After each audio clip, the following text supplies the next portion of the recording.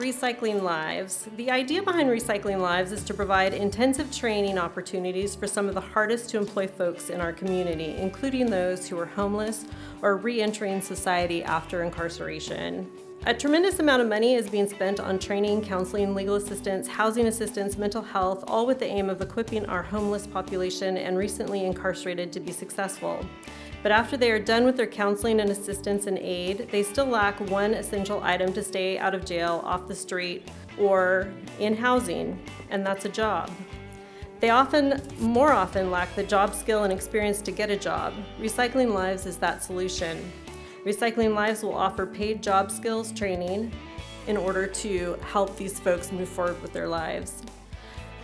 Recycling Lives is also the solution to the glass recycling problem. Glass is problematic for recyclers even though the state does give CRV value for them. Glass comes from cheap natural resources and thus has low value. Here's the centerpiece of what we're trying to do.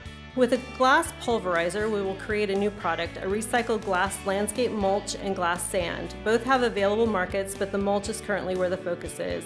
A 50 pound bag of glass mulch can sell for as much as $108.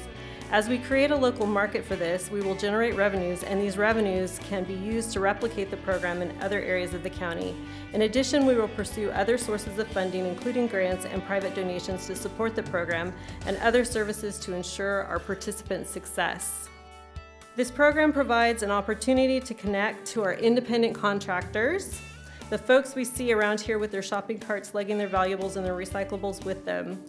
That's our recycling program. We're trying to recycle lives here. Glass is just the medium. The goal for outreach will be to feed them, know them by name, talk to them, get them coming in to bring us glass that they've collected for cash, and it'll be easy for, easier for us to collect glass that way as well. So this program's built on partnership and collaboration with a multitude of training partners and other agencies.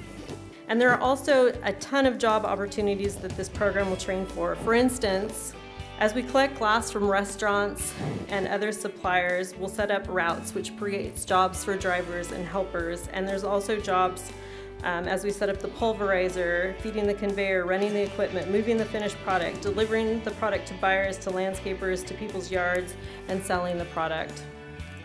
There are jobs in the office, teaching um, administrative skills and supervisory skills, what we don't make enough of ourselves, like that gorgeous blue glass, we will buy wholesale and sell retail.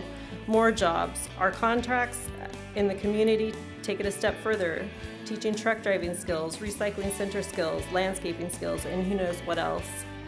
So in summary, our goal with this program is to take a waste item, glass, and turn it into jobs, generate income for disadvantaged communities, save water, create beauty, recycle, put the homeless people in homes, and help parolees stay out of jail. And with all of that, we hope to save the community law enforcement resources, HUD resources, and beautify the community all at the same time.